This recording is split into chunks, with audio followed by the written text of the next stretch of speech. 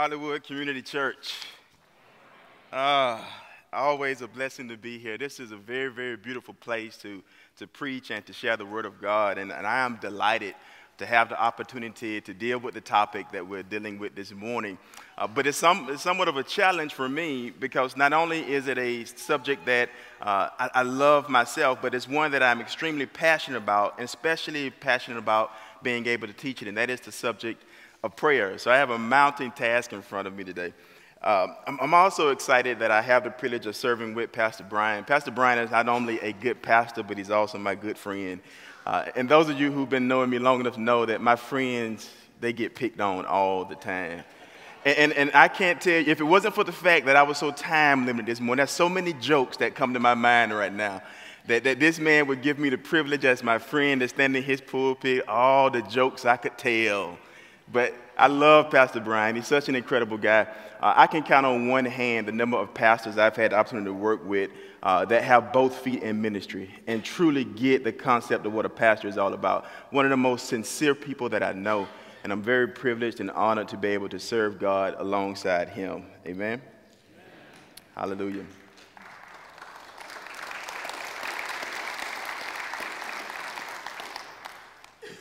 Dealing with the subject of prayer, I have to say, first of all, one of the things we got to do is we got to stop making prayer out to be something unusual.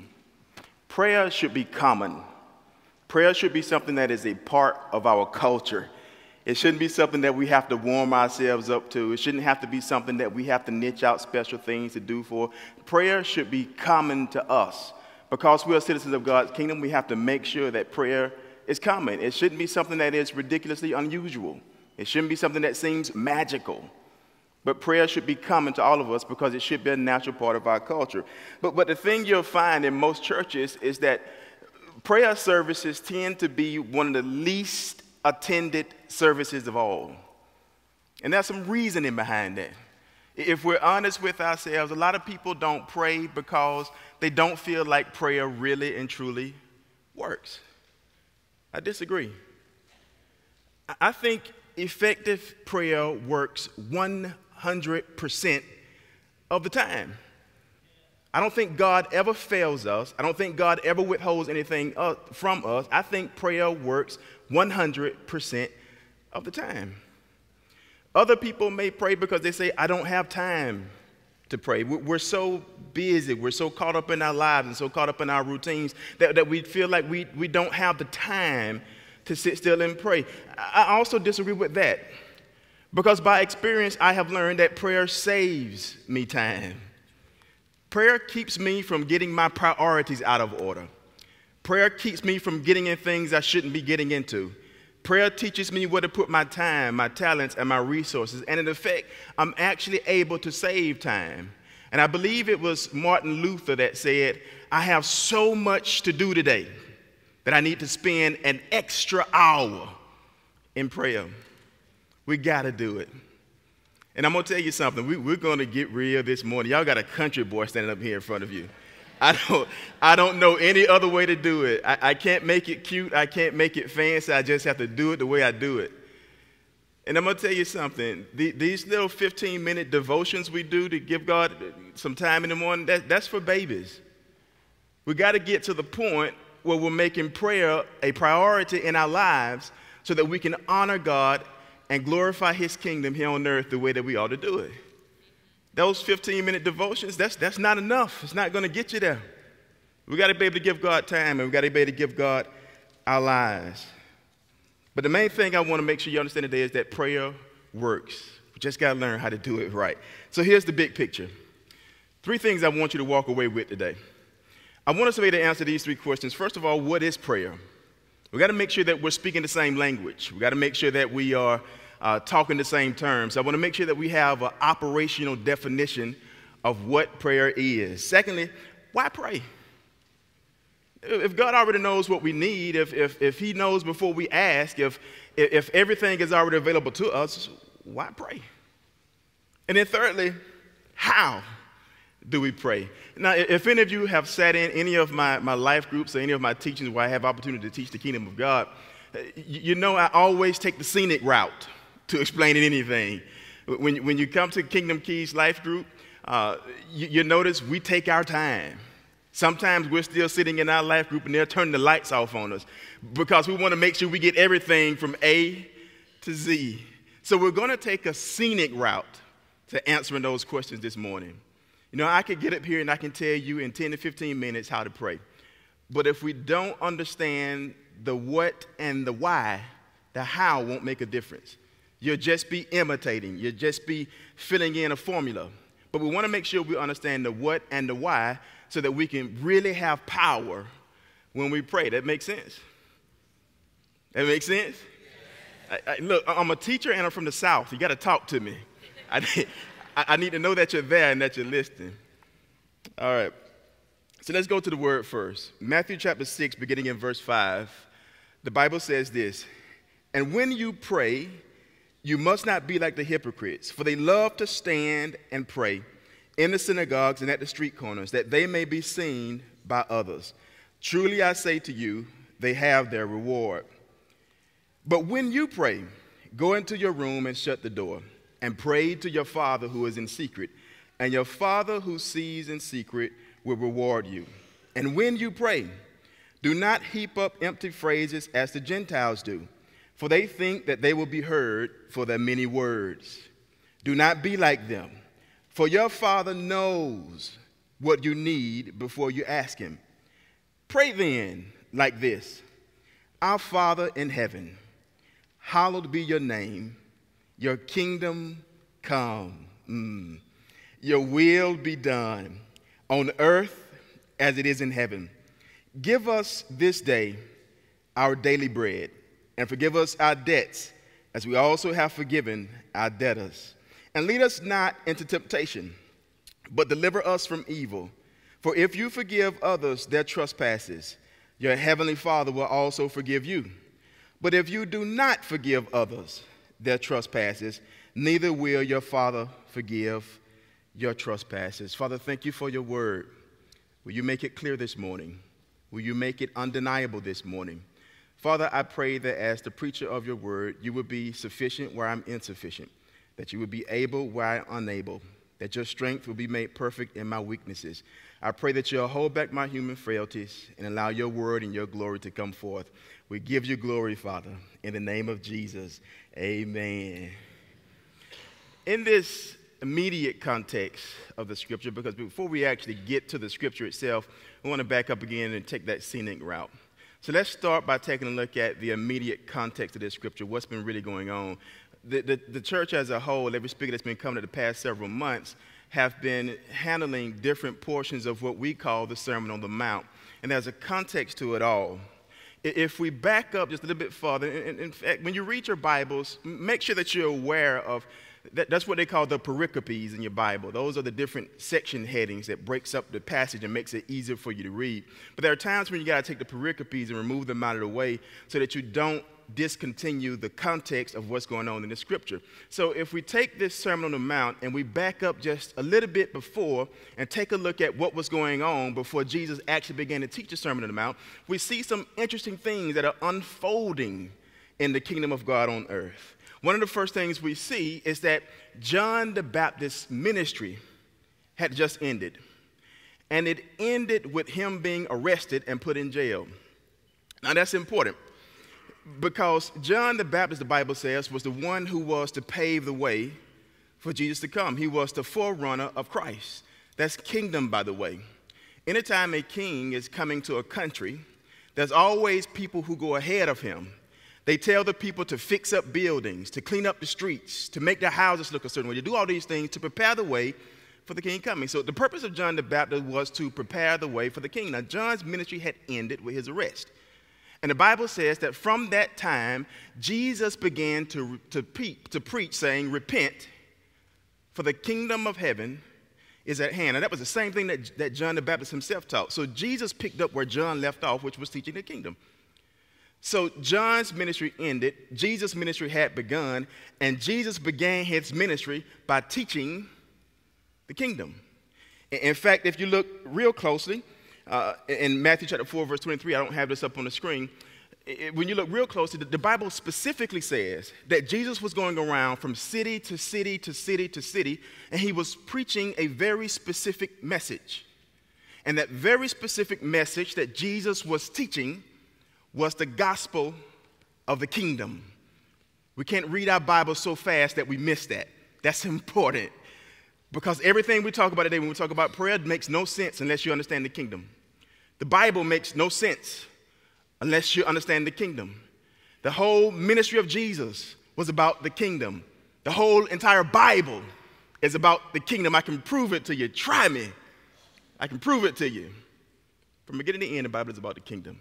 So if this is important to God in the Bible, if this was important to the ministry of Jesus, then it has to be important to me. I got to get this.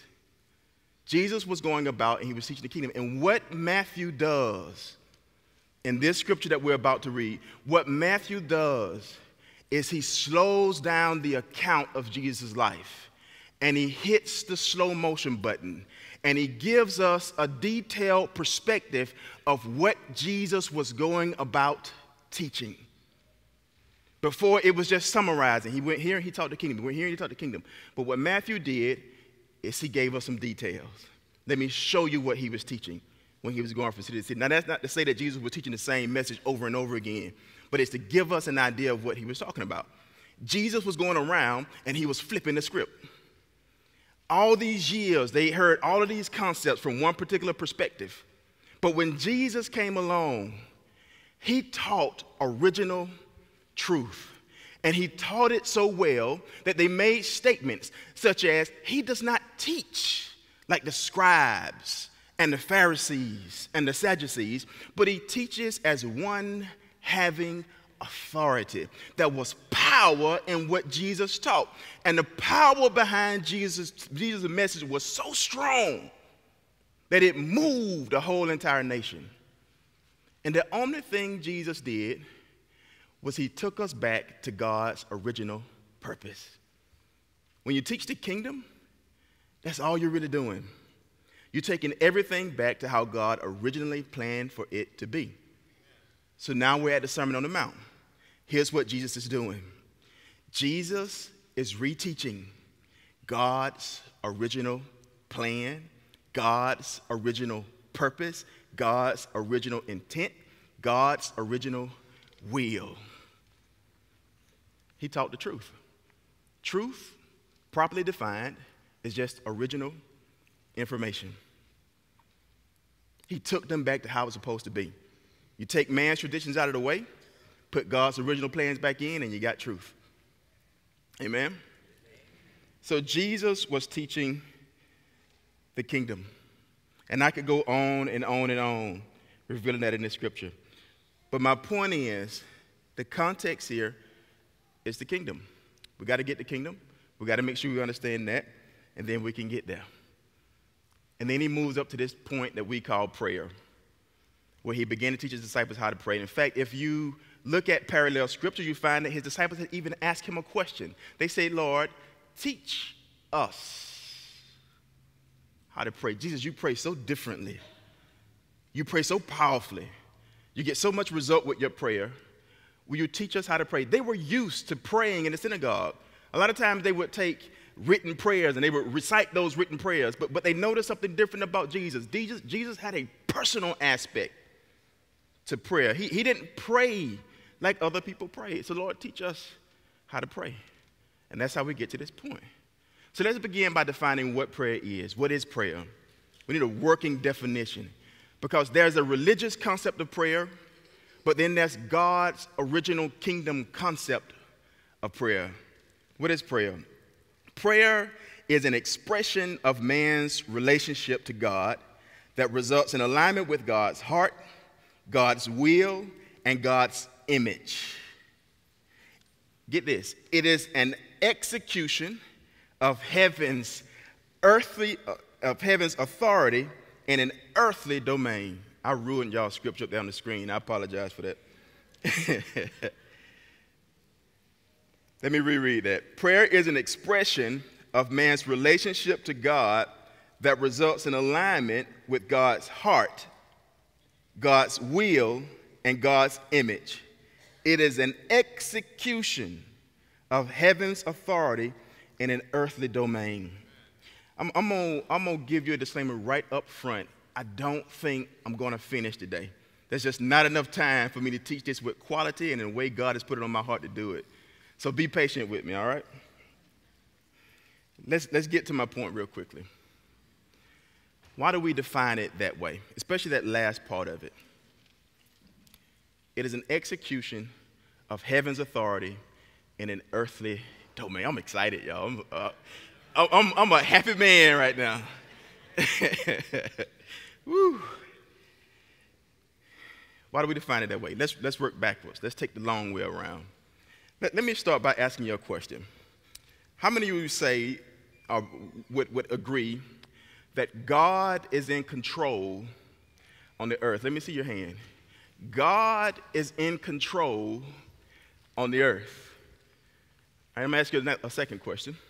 How many of you believe that the Bible is without error? It contains no mistakes whatsoever. It is the perfect revealed Word of God. Now, just for clarity's sake, I want to ask that one more time. Now, how many of you believe that God is in control on the earth? How many of you believe that God's Word is without error? How many of you believe that there might be a trick behind that question?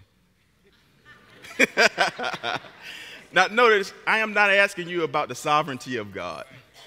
God is absolutely sovereign, absolutely sovereign. But I'm asking you about his control on the earth. now, most of you said by showing of your hand, it's too late to change your mind. that you believe that God is in control on the earth. See, that's the first problem with prayer. That's the first problem with prayer, is that our mindset is misaligned.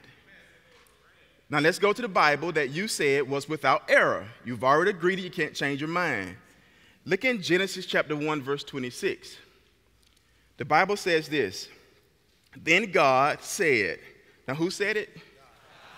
Not Mike, not Brian Burkholder, not Moses, not anybody else. But God said, Let us make man in our image and after our likeness, and let them, everybody say them, let them have dominion over the fish of the sea, and over the birds of the heavens, and over the livestock, and over all the earth, and over every creeping thing that creeps on the earth. Now, if, if, God is in control, why do we have war? Why do we have violence? Why do we have hatred? Why do we have racism? Why do we have all of these problems if God is in control? I believe God can do a better job than that. The problem is not that God is not in control. The problem is that God wants to control through you.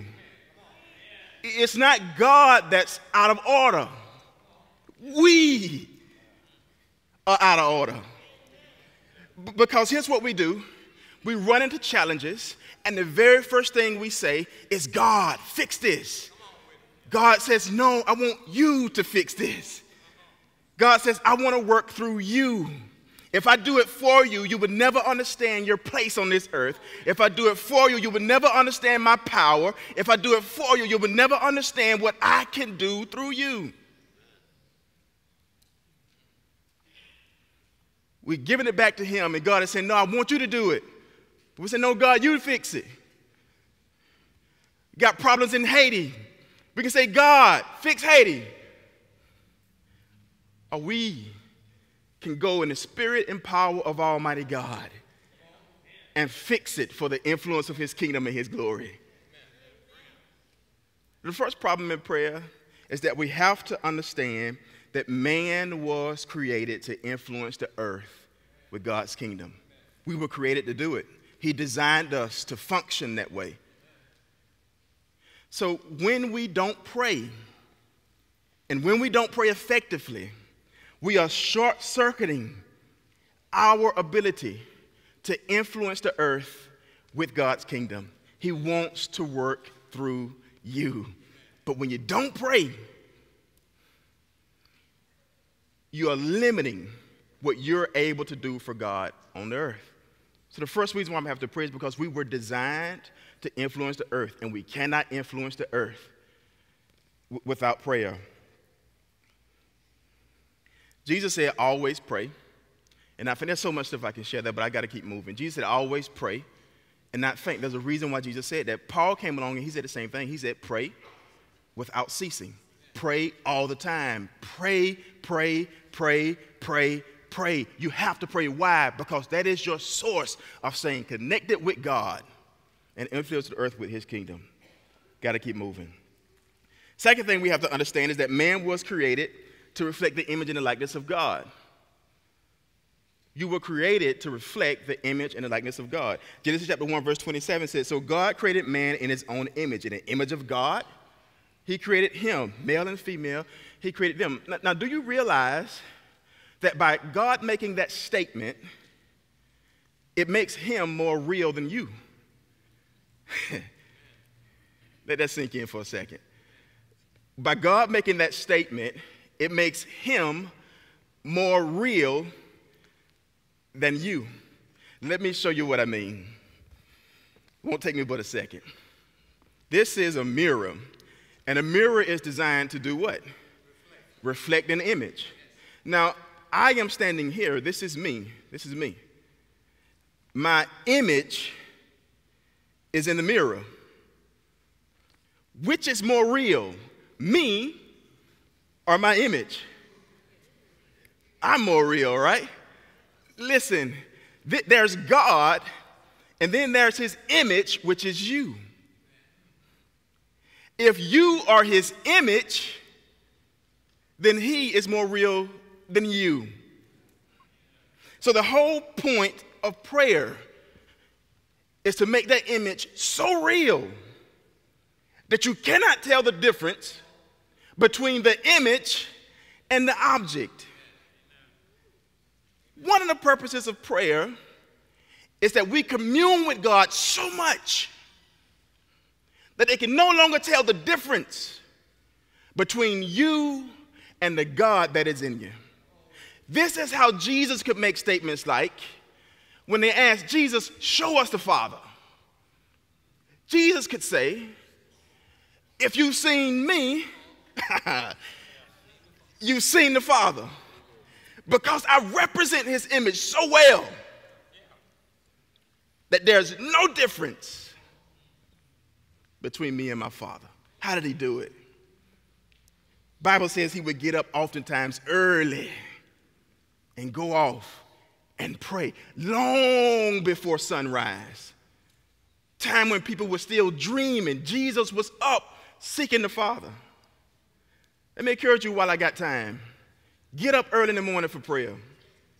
The manna failed in the morning. If you didn't get up and get the manna, you, you missed all of your meals for that day. David figured it out. David said, Early in the morning will I seek your face. You got to be excited about God. And when you get the power of prayer, you won't even need an alarm clock. It's no different than when your parents told you, We're going to Disney World today. You were up the night before, so excited. Christmas night, you can't sleep because you're so excited. David said, I'm so excited, I got to get up early in the morning. I'm so ready to meet my God. I got to do this. And the more I do that, the more I begin to reflect his image. So, why pray? Because we were designed to commune with our Father so that we can properly reflect His image. Thirdly, man was created to relate to God and to work with Him. Everybody say with. So, why pray? Because if I'm supposed to be working with God, I don't know what God is doing unless I pray. I don't know what God is saying unless I pray. I don't know what God is up to unless I pray. I'm designed to work with Him. I'll give you an illustration.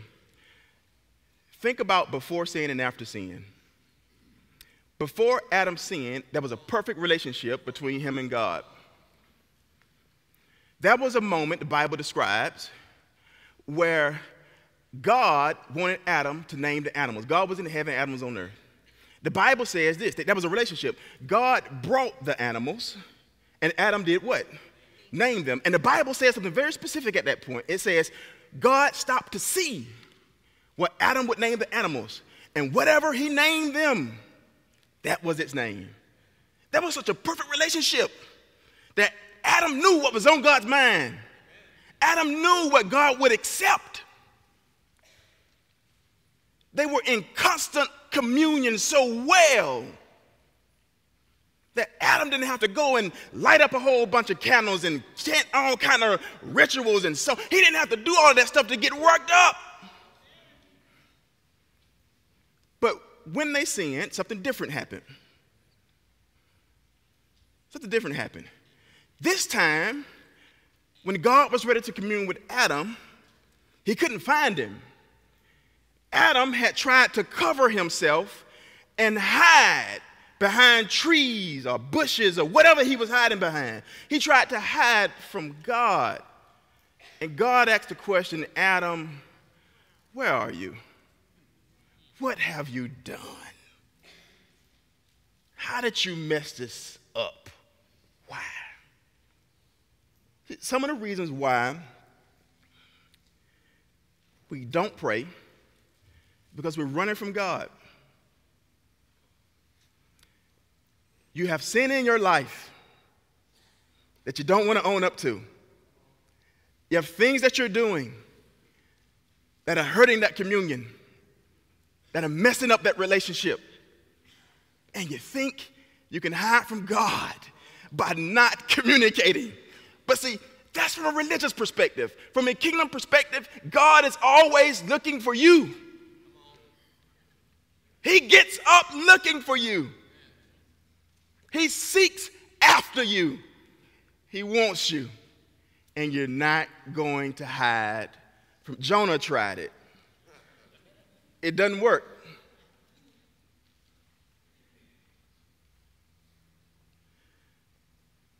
The Bible says, if I regard iniquity in my heart, the Lord will not hear me.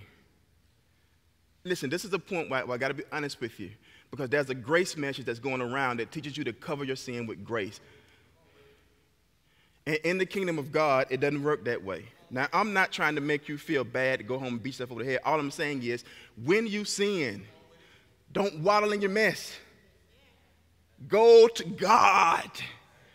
Let Him fix it. Let Him get it right. We're all human. We all mess up. We all fail sometimes. The Bible says all of us have sinned and fallen short of his glory. That includes me. I fall short all the time. But one thing I have mastered is the art of getting up and starting over.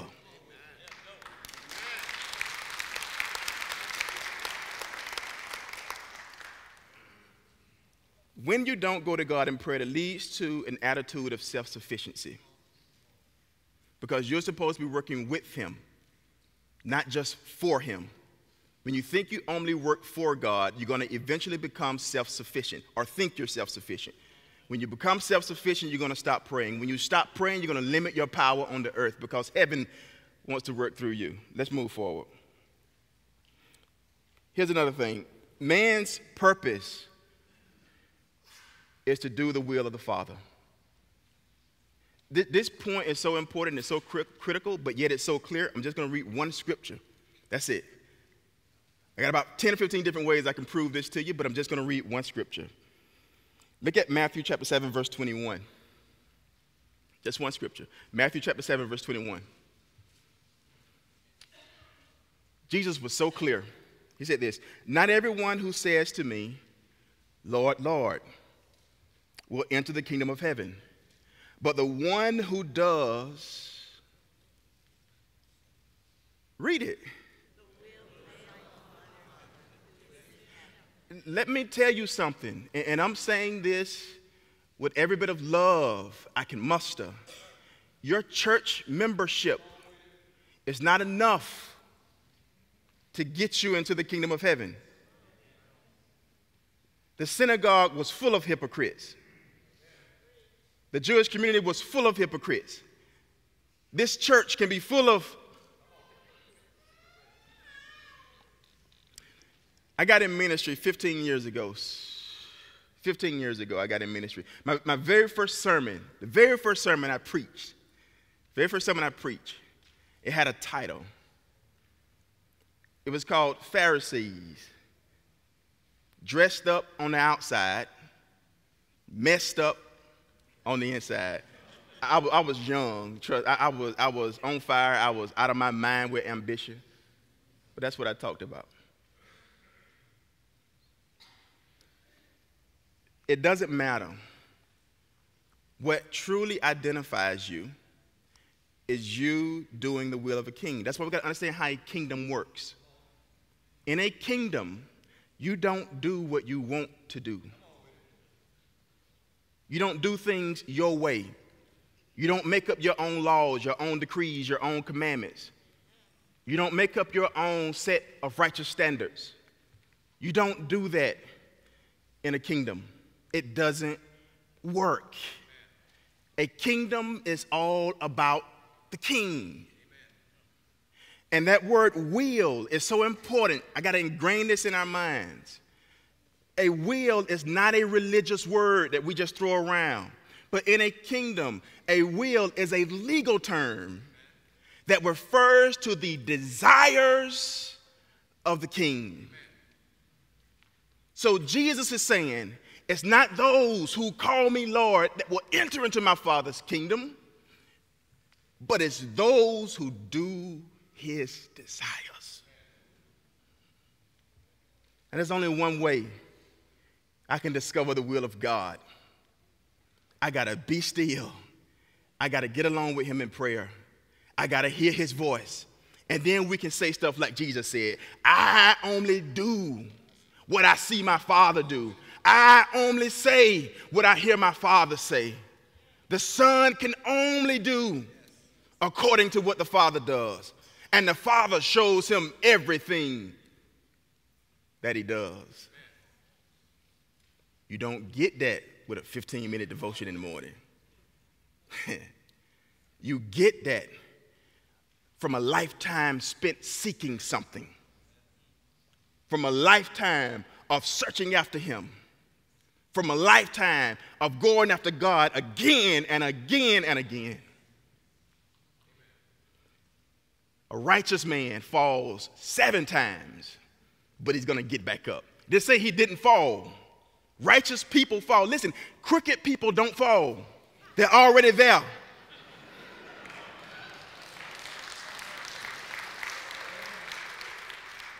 Listen, we've got to get over our pride.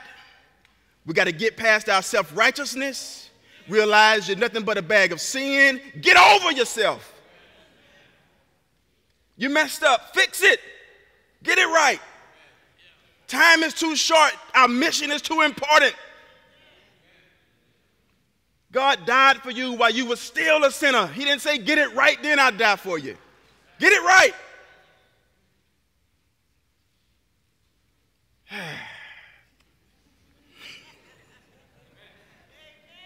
My last point before I move into the scripture.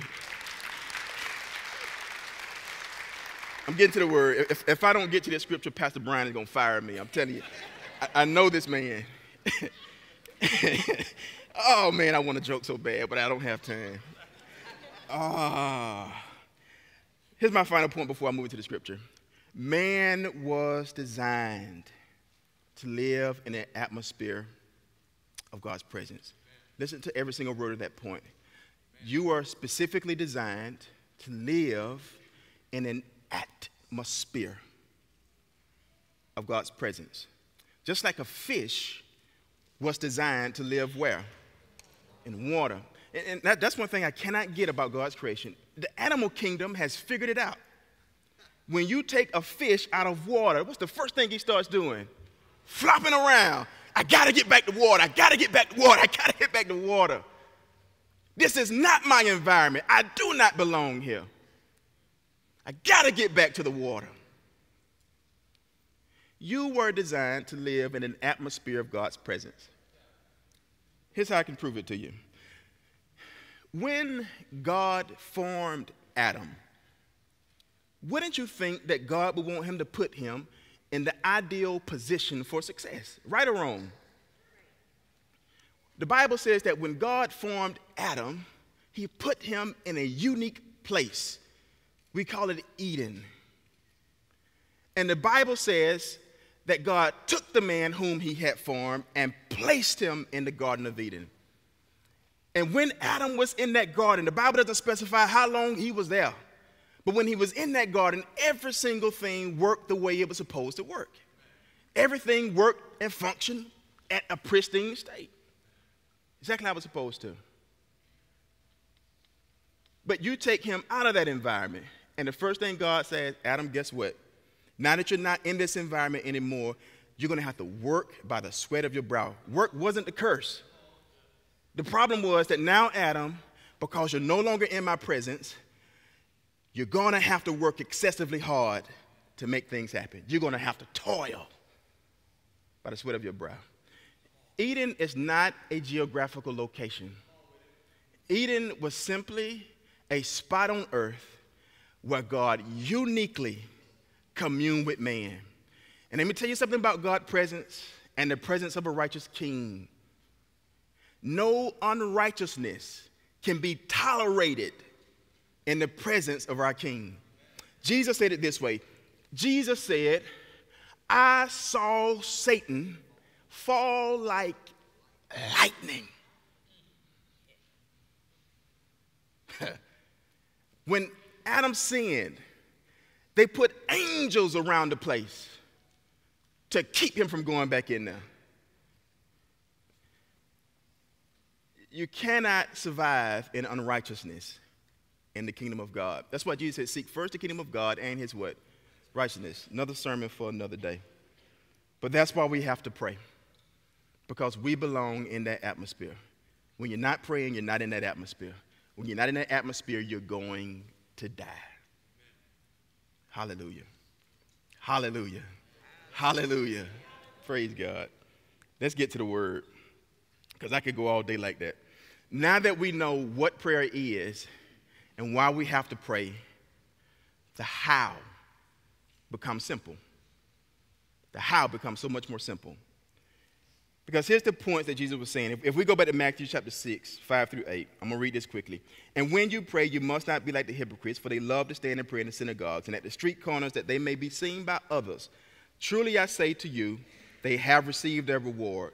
But when you pray, go into your secret room and shut the door and pray to your Father who is in secret. Your Father who sees in secret will reward you. And when you pray, do not heap up empty phrases that the Gentiles do, for they think they will be heard for their many words.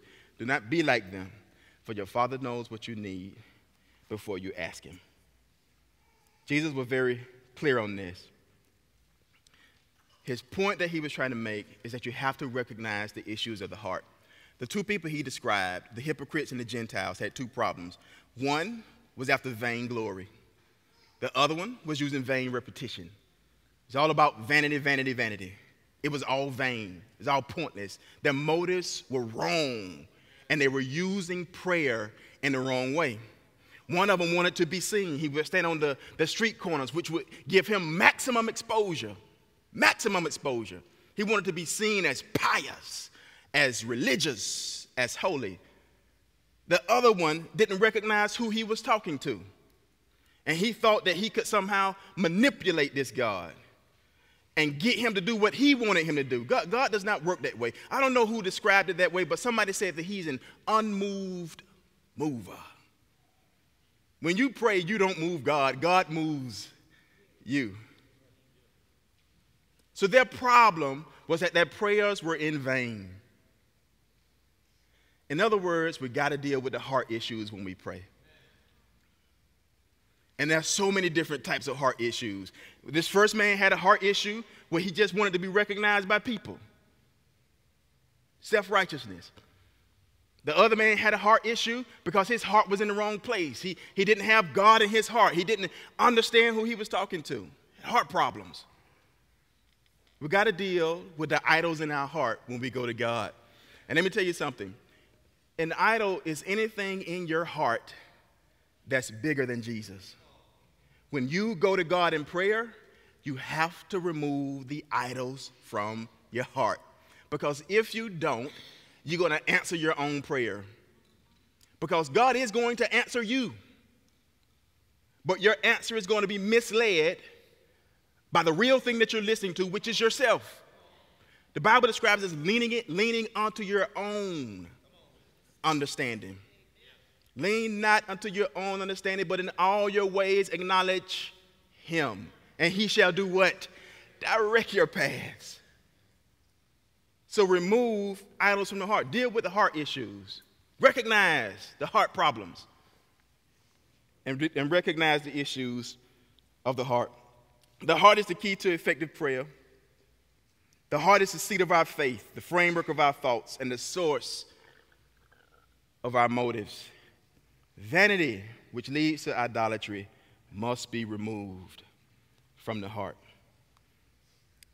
Then he said this Pray then like this. Instead of praying like the hypocrites, instead of praying like the Gentiles who don't know God, pray then like this Our Father in heaven, hallowed be your name.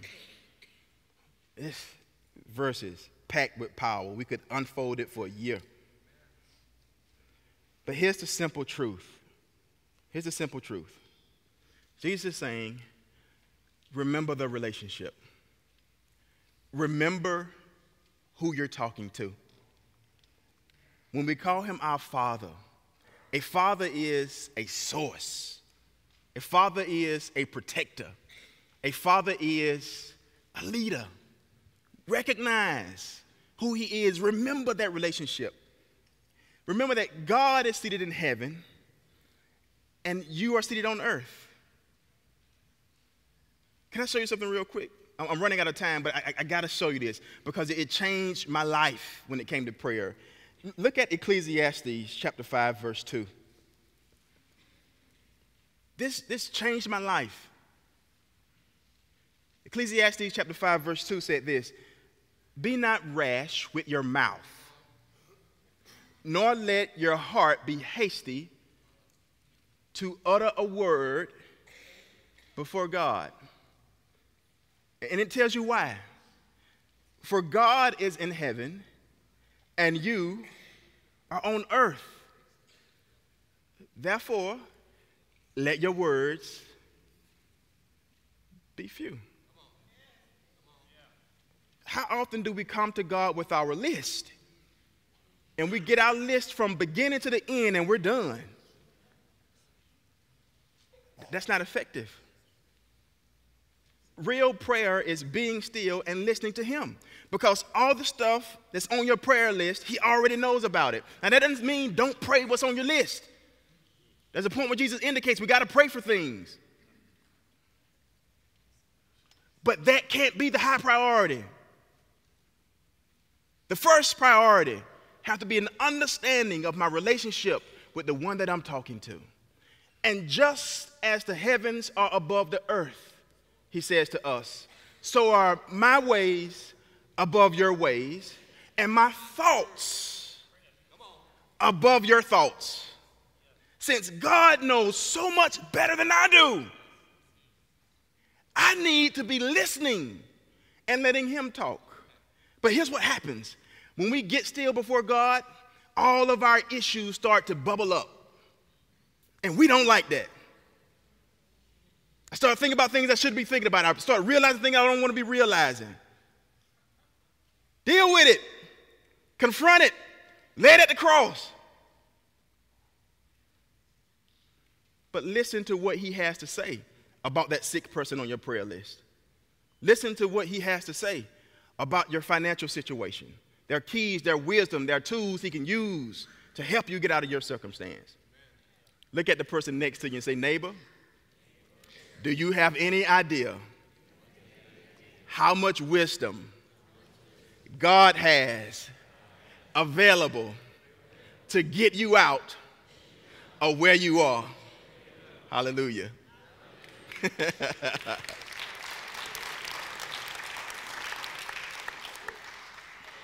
Remember the relationship. Remember the relationship. And then he said in Matthew chapter 6, verse 10, Your kingdom come, your will. That is again. That is again. Look at what Jesus is praying for. Your kingdom come. your will be done on earth as it already is in heaven. See, our purpose on earth is to influence the earth so much and imp- impact it so much with the culture of God's kingdom that earth begins to look like heaven. That's so powerful, and I'm so passionate about it. It's best if I move on. Look at Matthew chapter 6, verse 33. Jesus said it himself. But seek first. The word first indicates priority and importance. Seek first the kingdom of God and his righteousness. And then all the things on your prayer list will be added to you. The problem is we get it out of order. We're so focused on the things that we forget about the source of the thing. We get so focused on our needs and our desires that we lose sight of whom our needs and our desires should be aligned with. That's how kingdoms work. That's how they function. That's how they operate. So Jesus is saying, recall the priority in prayer. You have needs. But your needs are so easy for God to meet, it's low priority. Some of you need money. In the kingdom of God, money is so cheap, we use it for building materials. The Bible says that there is a street paved, hallelujah, building material. We walk on it. Your financial need is nothing for God. I'm sorry. I, I, know it seems big to you, but remember, anything in your heart that's bigger than Jesus is an idol. That money has become your idol. Your marriage problems, your work situation, issues with children, no matter how close it is to you, it can never become more important than Jesus. A lot of time, those things are either distractions from the enemy or they are the result of foolish mistakes we've made and we've just reaping what we're sowing. Get over it. That does not change the heart of the king. That stuff is easy for him. The Bible says that God can control the heart of a king. You think he can't control the heart of your child, the heart of your husband, the heart of your boss. my God, my God. Let me move on. Here's another thing Jesus said Matthew chapter 6, verse 11. Give us this day our daily bread. See, there it is. Jesus recognizes that we have needs to pray for, that things we have to have in order to be able to accomplish God's work. He said, pray for those things. It's okay to ask for them, they just can't be the top priority. So request heaven's help. You can't get by without him. The Bible makes it clear we can do nothing apart from him. So why do we ask? He already knows what we have need of. Jesus said that himself. Why do we ask? Here's how. In a kingdom, everything belongs to the king. If you are a kingdom citizen, none of your possessions are yours. If you are a kingdom citizen, your house belongs to the king. Your car belongs to the king. Your money belongs to the king. You belong to the king. Bible says you were bought with a price. When we ask in a kingdom, we recognize our dependence on the one who gave it. In, in, in, my house, we, we have this way, this special way that we do grace at the table. We, don't say the, the, the common boxed in graces anymore, but we, we hold up our glasses and we give a toast to the king, and we all hold them up and we say, To the king. Because we want to remember who is the source of the meal that we are about to eat. He provided it, He put it on the table. Not daddy, not us, but the king. And it all belongs to him. Asking requires faith. Faith is like currency in the kingdom of God. It's how you get what you want, it's how you buy what you need, in a sense. No different than going to Walmart. You can't just go in Walmart and just grab something and walk out the door. It doesn't work that way. There has to be an exchange.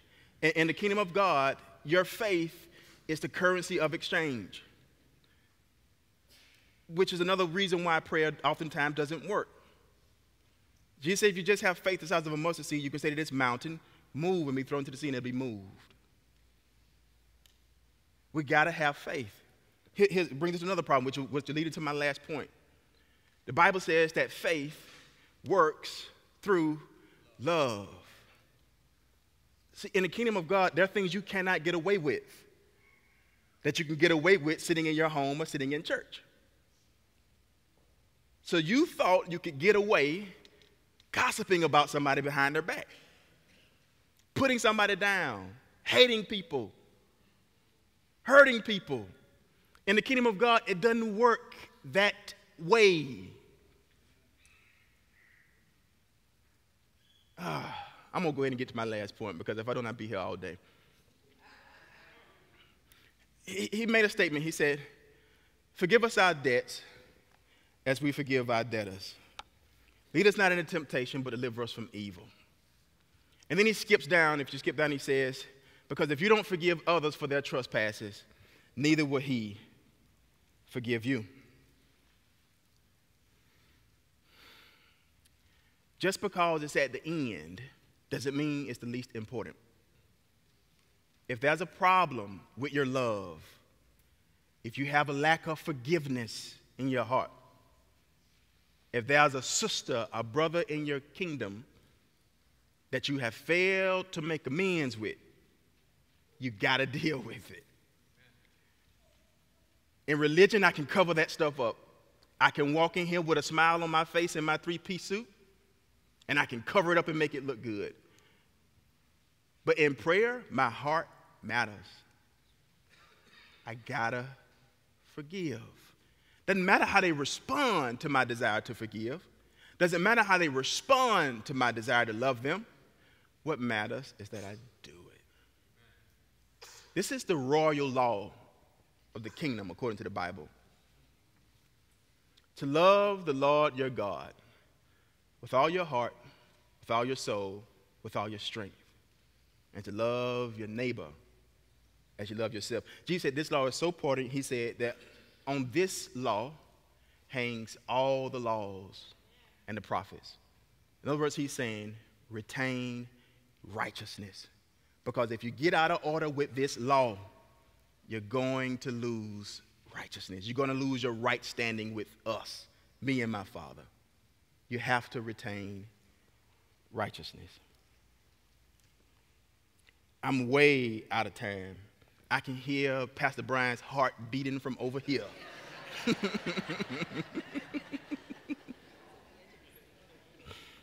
my word, my word. But listen, you got to pass that test.